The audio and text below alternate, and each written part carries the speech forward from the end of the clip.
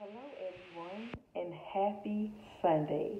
We are on the last day of our creation series, and I want to thank you all for tuning in with me. Um, it's really been an amazing experience, and hopefully, we've all learned and grown together. So, so far, we have learned that God created light on day one. He called the light day, and He called the darkness night. On day two, the sky was created. Because remember, the earth was completely filled with water, so God made this huge space between it. And the water below, he called the sea, and the space above, he called the sky. On day three, plants and trees were created that make their own fruit and their own seeds. The sea was officially named, and God also created dry ground, or as we know it, land. On day four, God created the sun, the moon, and the stars. And on day five, God created creatures that live in the sea, like fish, and that fly in the sky, like birds. So now we are on day six of creation. And we'll start by a Bible story, like always. And it's going to come from Genesis, the first chapter, verses 24 through 31, and Genesis chapter 2, verses 1 through 4. Let's get started.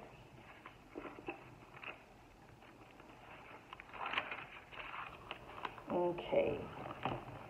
And it reads Then God said, let the earth produce every sort of animal, each producing offspring of the same kind, livestock, small animals that scurry along the ground, and wild animals. And that is what happened. God made all sorts of wild animals, livestock, and small animals, each able to produce offspring of the same kind. And God saw that it was good. Then God said, Let us make human beings in our image to be like us. They will reign over the fish in the sea, the birds in the sky, the livestock, all the wild animals on the earth, and the small animals that scurry along the ground. So God created human beings in his image. In the image, he created them. Male and female, he created them. Then God blessed them and said, Be fruitful and multiply, fill the earth and govern it, reign over the fish in the sea, the birds in the sky, and all the animals that scurry along the ground. Then God said, Look, I've given you every seed bearing plant throughout the earth, and all the fruit trees for your food, and I have given every green plant as food for all the wild animals, the birds in the sky, and the small animals that have life. And that is what happened. Then God looked over all he had made, and he saw that it was very good. And evening passed, and morning came, marking the sixth day. Chapter 2 The creation of the heavens and the earth and everything in them was completed. On the seventh day, God had finished all his work of creation. So he rested from all his work. And God blessed the seventh day and declared it holy, because it was the day when he rested from all his work of creation. So, on day six, God created livestock. And these are animals that we see on farms, usually um, goats, pigs, cows, horses, okay? He created wild animals. And these are animals that we wouldn't want as pets, such as um, tigers, lions, bears, leopards. He created small animals that walk along the ground, and these are insects. And lastly, he created us, human beings, male and female. So he has done all of these great things in six days.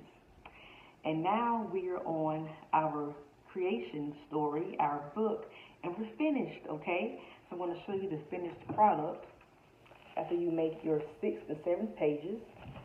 So I have put some holes on the side and put a ribbon to connect um, these plates. So this is our book title, God Created, and your name right there. Open the book up. And this is day one of creation. So the blank space is day, dark space is night. Day and night. The second day of creation, I have drawn um, the sea, some waves, and the sky. Okay. Open it up. If I can, open it. The third day, of creation, I have drawn um, the sea, land, trees, plants, and the sky. On the fourth day of creation, I have drawn day, the yellow part, and this is night, and I have cut out the moon and the stars for day four. Day five of creation, we, well, I have drawn um, fish, and you too, for your book, and birds. And the sixth day, what you will draw today of your choosing, I have drawn um, grass and insects uh, for the animal that walks along the ground, a pig for the livestock, a boy and girl for the human beings, and a lion for the wild animal, and some clouds. And on the seventh day of creation, God rested. So this is our creation story. Okay? And it's definitely a keepsake for you and your family to enjoy um, over the years as time goes by, okay? And you may ask, why was this a book of paper plates? Well, the world is round, and so are these. This is why I chose paper plates for this book. So I want to thank you again for this amazing lesson. We have learned and grown together. And I will see you next Sunday for our story on Adam and Eve. Okay? So before we end, we should always pray. We come to you right now, dear Lord, just giving thanks. We thank you for allowing us to learn and grow, dear Lord, with one another, dear Lord. And we ask that we continue to grow in your name. And these things we ask all together and say, Amen. Have a nice day, everyone.